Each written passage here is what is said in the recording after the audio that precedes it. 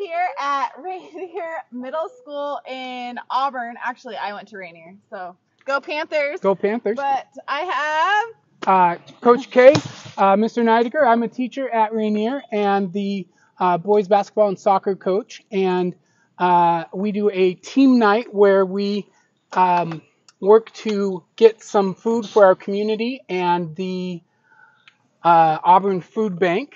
Um, because I'm a teacher, I like to do math. Each student is given a $100 gift card. And the goal is they go shopping. They've got a few things that they need to buy tuna fish, diapers, socks, things like that. Um, and they need to add it up and get the closest to 100 without going over. And then the winning team, uh, the coaches will buy them lunch.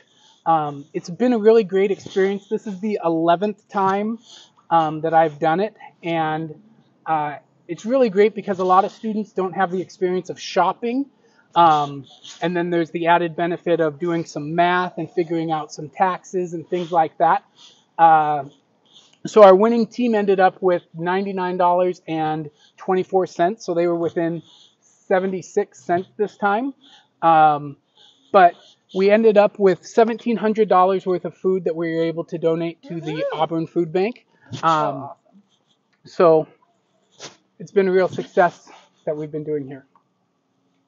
we appreciate you. Thank you. Yeah. Woohoo!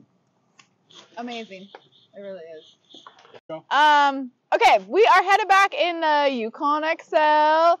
Um, we are gonna get all these uh, generous donations to the Auburn Food Bank first thing tomorrow morning.